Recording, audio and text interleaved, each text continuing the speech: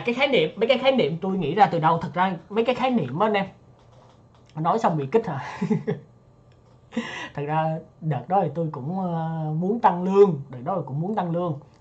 À tương lai đúng không? Chiều không gian tương lai đúng không? Mấy cái khái niệm á à, mấy cái khái niệm đó hồi nãy tôi kể với anh em rồi đó là kiểu bây giờ chơi game thì mình sẽ có bốn cái không gian. Không gian đầu tiên là không gian uh, à, 1D 1D gọi là không gian 1D cho anh em dễ hiểu ha. 1D là những cái người mà mới chơi á những người mà chưa hiểu về game chưa hiểu về chất tướng đồ các thứ á, là họ lúc nào cũng đi ra lên thôi chỉ biết cái lên đó xong rồi đẩy đường lên đồ các thứ không có quan tâm tới mà bị găng hay là bị giết đồ các thứ. Thì đó đó không gian 1D của mấy người mà mới chơi là chỉ có một cái chiều là nhìn về phía trước thôi nhìn về phía trước thôi. Đó. Còn chiều không gian 2D á, là có tiến có lùi có tiến có lùi tức nghĩa là mình hiểu hơn về cái kèo chất tướng ở đường rồi thời điểm nào mà mình mạnh hơn đối phương để mình tấn công rồi cái quay lính như thế nào để mình tấn công rồi các thứ. À, thời điểm nào mình yếu hơn đối phương để mình lùi mình phanh đến trong trụ chẳng hạn thì cái đó là 2D tiến và lùi. Còn 3D ở đây á, thì nó không phải là BD 3D ở đây á, thì nó sẽ bao quát hơn chút xíu nó có thêm chiều ngang nữa. Chiều ngang ở đây là liên quan tới hàng rừng liên quan tới hàng mid liên quan tới hàng top.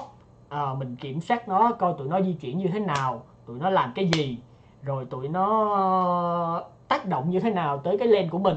Đó đó là cái chiều không gian 3D đồ các thứ. Còn 4D á, là hồi nãy có nói với anh em á, là tương lai. Là trong trường hợp này mình đã từ 3D là mình đã có được cái thông tin thằng rừng của mình nó sẽ di chuyển như thế này. Thằng bit của mình sẽ di chuyển như thế này. Cặp bot của mình pha này thắng đường thì mình sẽ tận dụng những cái thông tin đó để làm gì? Mình làm cái gì ở trong tương lai?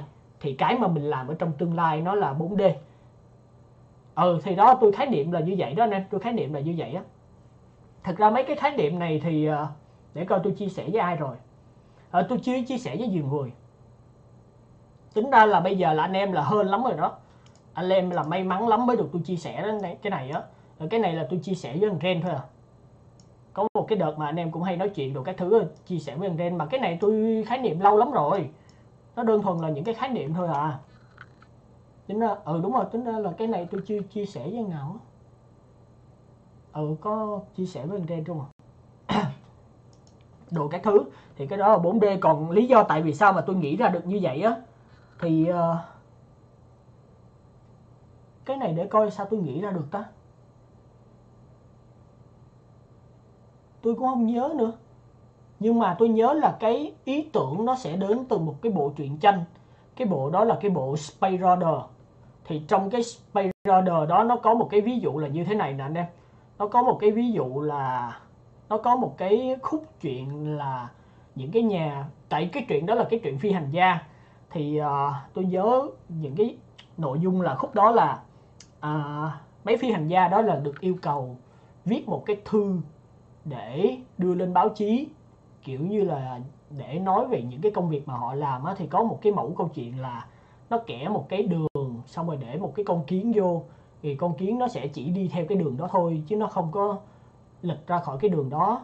Nhưng mà đi tới cái điểm cuối của cái đường đó thì bắt buộc phải lệch ra đi tìm những cái điểm khác. Rồi xong rồi có những cái con kiến á, thì nó sẽ đi ngang đi ngang một hồi xong rồi nó bị chặn bởi một cái bức tường xong rồi tụi nó phải bắt buộc leo lên leo lên rồi đồ các thứ. Tôi lấy ý tưởng từ cái đó đó tôi lấy ý tưởng về cái đó. Còn cái việc mà cái đợt lính mà đợt sống á anh em cái kiểu như là những cái quay lính mà đợt sống hồi bữa tôi nói với anh em đồ các thứ á thật ra thì cái ý tưởng để tôi uh, hình thành cái khái niệm đó thì tôi nhớ luôn tôi nhớ chính xác luôn là bữa đó. Bữa đó là lúc 9 giờ rưỡi sáng 9 rưỡi 10 giờ gì đó. Xong rồi team đang uh, đang ăn uống xong rồi chuẩn bị vô coi clip rồi chuẩn bị đánh ranh đồ các thứ xong rồi để chiều trên team á. Thì cái đợt đó là đợt đó là tôi đang ngồi tôi đang ngồi không không gì á tôi đang ngồi coi tụi nó chơi vậy á. Xong rồi cái tự nhiên trong đầu tôi nó nảy ra cái ý tưởng đó.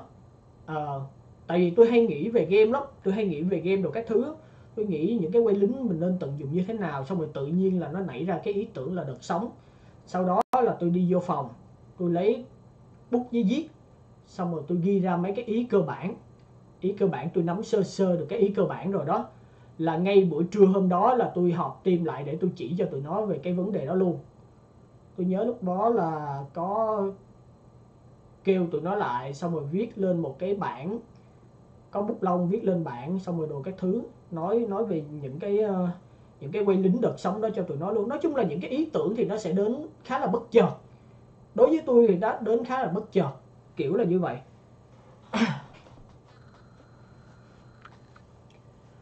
Thiệt mà mấy cái này là chia sẻ cho anh em đó.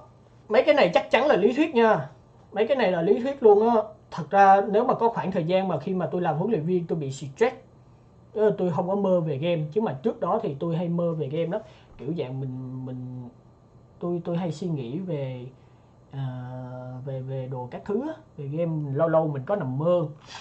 Thì đối với tôi tôi tôi thích kiểu dạng vậy kiểu lúc nào mình cũng nghĩ về game rồi các thứ mình sẽ tiến bộ. Lâu lâu mình nghĩ ra những cái ra trò phết, nghĩ ra mấy cái hay phết.